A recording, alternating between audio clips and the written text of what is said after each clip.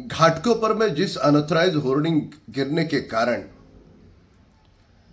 कुछ लोगों की मौत हो गई, कौन है इस मौत का जिम्मेदार? इस होर्डिंग के मालिक को पनाह देने वाले श्रीमान उद्धव ठाकरे और उनके नेता है, उनका दल है। अब वही लोग सवाल पूछ रहे हैं। क्या उन बातों को भूल गए? कि उस होर्डिंग के मालिक को घर पे बुलाकर किस प्रकार से फूलों का गुलदस्ता उद्धव ठाकरे जी ने दिया? कोविड काल में भी आपने कमीशन खोरी बंद नहीं करी। खिचड़ी में पैसे खाए, कफन में पैसे खाए। अब इस प्रकार की अनऑथराइज होर्डिंग किसी राजनीतिक बल के बगैर क्या मुंबई शहर में खड़ी हो सकती है? इसके कर्ता धरता आप हो। आपको सवाल पूछने का कोई नैतिक अधिकार नहीं।